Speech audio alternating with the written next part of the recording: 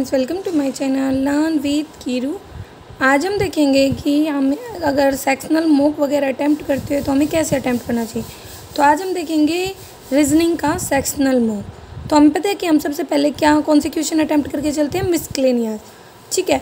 और उन सभी क्वेश्चन को मार्क करके चलते हैं, जो हमें बाद में सोल्व करने हैं। तो जैसे हमें यहाँ पे दे रखा है डिस्टेंस का क्वेश्चन ठीक है? तो अगर हम चाहें तो इसको सोल्व कर सकते हैं। फिर हमें एक पजल दे रखी है ट्रैंगुलर बेस ठीक है? आप इनको लिख सकते हो। यहाँ पे हमें एक मिसक्लेनियस क्वेश्चन दे रखा है, ठीक है? तो हमें इसको अप्लाई करना है। यहाँ पे हमें चाइनीज़ कोडिंग दे रखी है। और यहाँ पे हमें एक स्क्वेयर टेबल में पजल दे रखी है। क्योंकि हमें एक बार ओवरव्यू ले लेना चाहिए। हमारे क्वेश्चन में क्या क्या रखा है? ये हमें ऑर्डर एंड रैंकिंग का क्वेश्चन दे रखा है।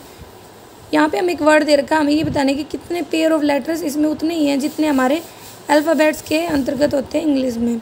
यहाँ पे हमें एक पजल दे रखी है कि दो पैरलर रो में हमें लोगों को बिठाना है। कितने लोग हैं? आठ। फिर यहाँ पे हमें हमारे अल्फ़ाबेटिकल सीरीज़ के क्वेश्चंस दे रखे हैं नंबर सीरीज़ में। तो हम इनको सोल्व कर सकते हैं। ये हमारी पजल दे रखी है डेज़ वाली।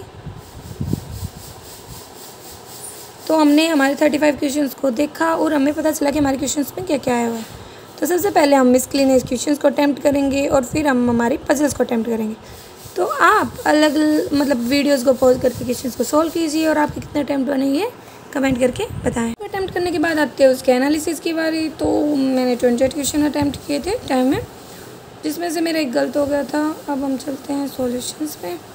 तो सबसे पहले जब हम इसको एनालाइज करते हैं तो हम उन क्वेश्चन पे जाते हैं जो हमारे रॉन्ग हुए हैं।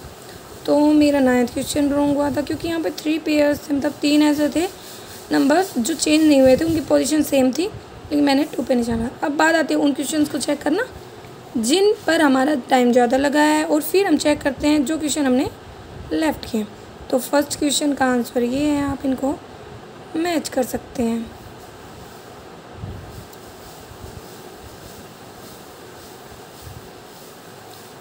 इस तरीके से हम हमारे पूरे मॉक को अटैम्प्ट करते हैं और जो क्वेश्चन हमारे रह जाते हैं, हम उन्हें बाद में प्रैक्टिस करके देख सकते हैं। तो ये हमारे लास्ट के क्वेश्चन है जो मैंने अटैम्प्ट नहीं किया था। बाद में मैंने इसको सोल्व करके देखा था। ठीक है? आपको मैनुअली नोट चेक करने हो, जैसे मैंने पूरे मॉक को कैसे कैसे अटैम्प्ट किया हाँ तो आप देख सकते हो। जैसे यहाँ पे। मैंने बस इतने क्वेश्चन अटैम्प्ट किए थे। उसके बाद ये वाला क्वेश्चन मैंने बाद में सोल्व किया तो मेरा पहले रहूँगा फिर ठीक निकला था। ठीक है? तो आप ऐसे ट्राई कर सकते हो और अगर आप पहली बार मेरे चैनल पे आए हैं तो इसे सब्सक्राइब करें लाइक करें और शेयर करें। Thank you